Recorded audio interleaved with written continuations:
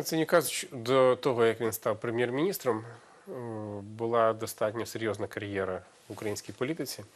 Він був і головою парламенту, він був і очолював Національний банк, вів перемовини щодо кредитування, щодо відносин з партнерами. Тому, звичайно, контактів у Яценюка на початку було набагато більше. Ну і е, це, в принципі, нічого в цьому такого для Гройсмана особливого немає, тому що на Заході будуть оцінювати спроможність прем'єр-міністра насамперед по результату. Я би не сказав, що Гройсман зараз є міжнародна фігура.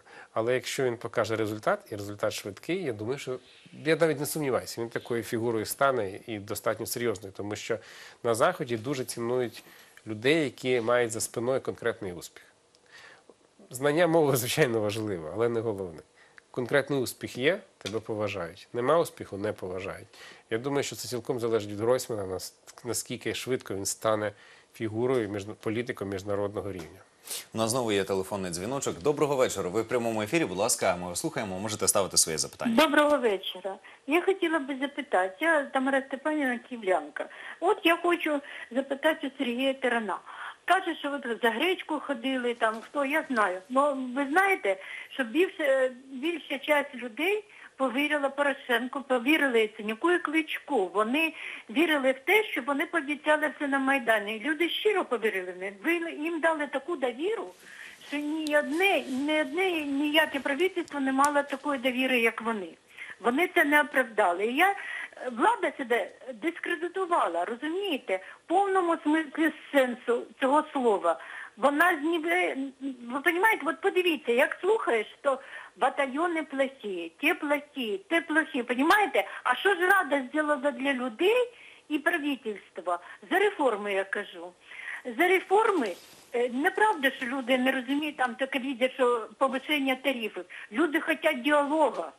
Люди хочуть, щоб виходили правителі наші дорогі і нам це розказували, а не бігали від людей. Раніше Порошенко були Яценюк і всі остальні дуже відкриті. А зараз вони бояться людей вийти навіть, сказати і поговорити. Людям це треба розговорювати. Люди поймуть, все, вони стільки вже витерпіли, вони всі допомагали всім, вони все розуміють, вони ті, що щирі українці, вони хочуть тільки для України, щоб було все добре. Розумієте, вони ще потерплять, тільки видіть оце, що люди хочуть цього, а люди не хочуть. Ви дивіться, що робиться.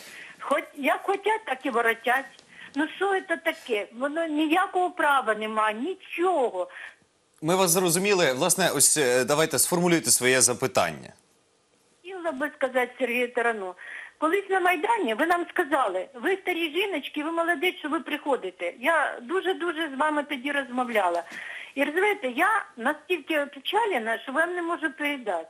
Я стара людина, але я щира українка. Я не совєтський чоловік, розумієте, що з, з прошлим, як бабушки плачуть за Леніном. Я дуже вірю в нашу Україну, вірю в порядних людей. І, дуже слава Богу, хотіла- що такі люди, як ви є. Ми дякуємо вам, що зателефонували. Ви бачите, послухали е, вашу, вашу позицію і з задоволенням. Власне, зрозумієте те, що ефірний час е, він теж певні має обмеження.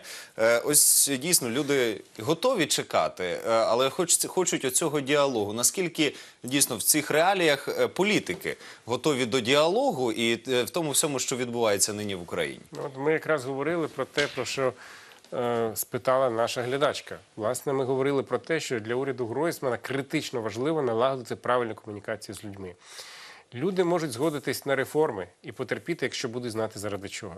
Ну це як вдома, коли починаєш ремонт, то деякий час, місяць, другий, а точніше там півроку чи іноді довше, е, ти відчуваєш величезний некомфорт. Але ти знаєш заради чого. Ти знаєш, що через півроку ти будеш жити в іншій квартирі. Ти можеш лаятися з прорабом, з будівельниками. Це може бути довго, але у вас відбувається діалог, який, зрештою, призводить до результату. Реформи те саме.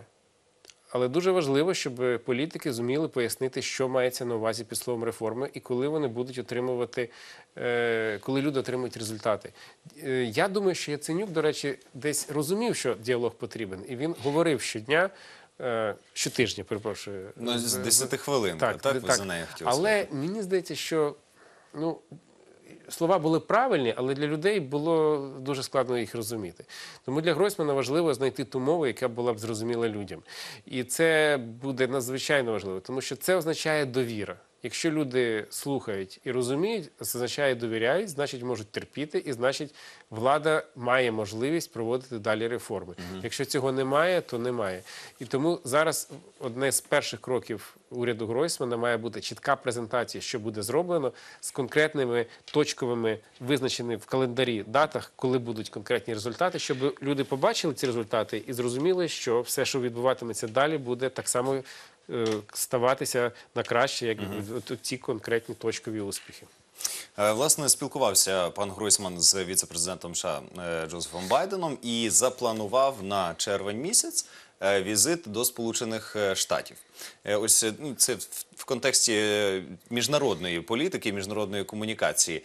А для Гройсмана, ось е, це, це теж фактично певні нові. Е, Нові скажімо, новий щабель, навіть політичний.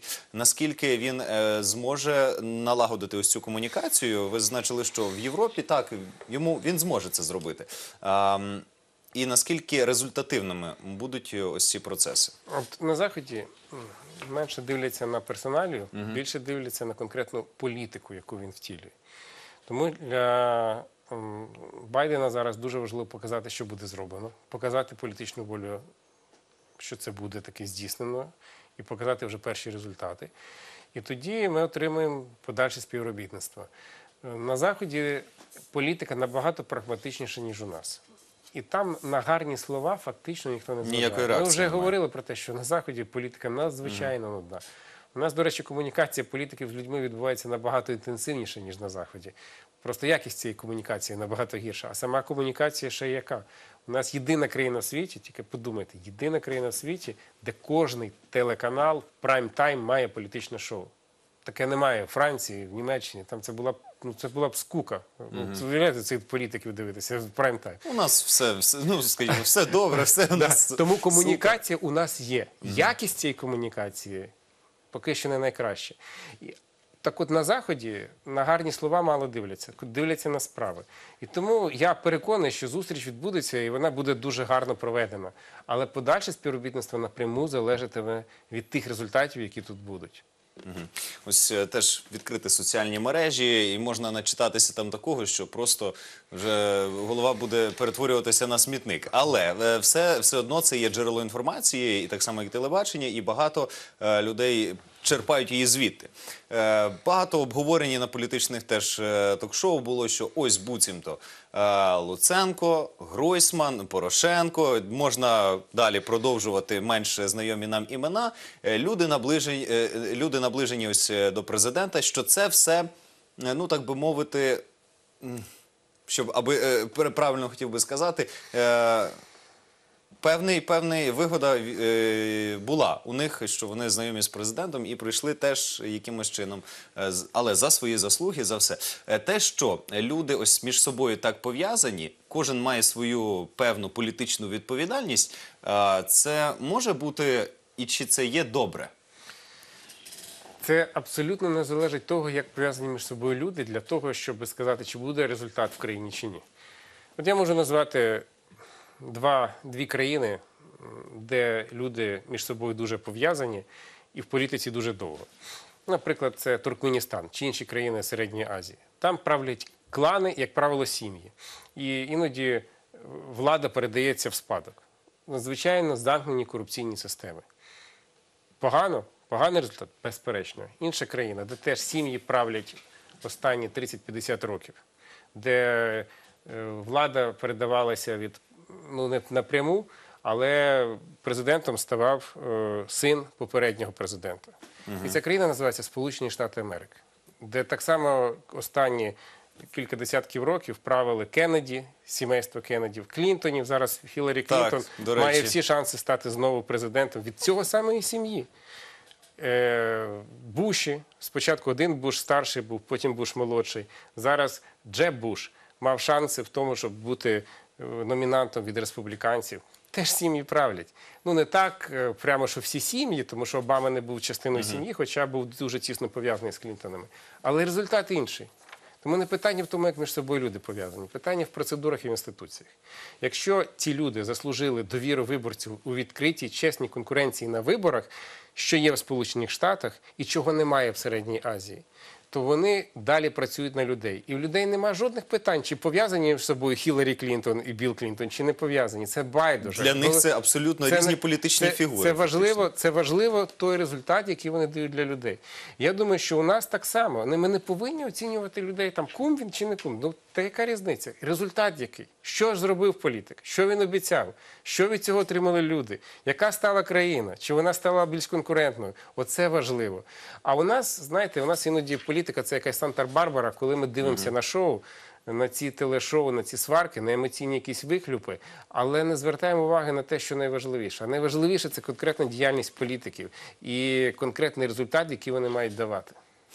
Я вам дякую за таку цікаву розмову. Е, Дякую, що завітали до нас у студії. Ось е, ваші слова справедливість і закон, е, і те, що ми обговорювали, для мені запам'яталось. Ось, власне, я хотів би побажати і нашим телеглядачам, і власне всій Україні, аби справедливість і закон у нас були фактично одним і тим самим, і ми не задумалися зробити це по справедливості чи за законом. Я дякую вам, що були разом з нами. І наш, наш гість е, це Сергій Таран, політолог. Е, Ми з ним проговорили багато запитань е, і вже навіть в світову трішки політику пішли. Але головне, що потрібно. Трішки почекати, потрібно контролювати владу і не забувати, що ця комунікація це дуже важливо. Залишайтеся з телеканалом Київ і всіх вам гараздів.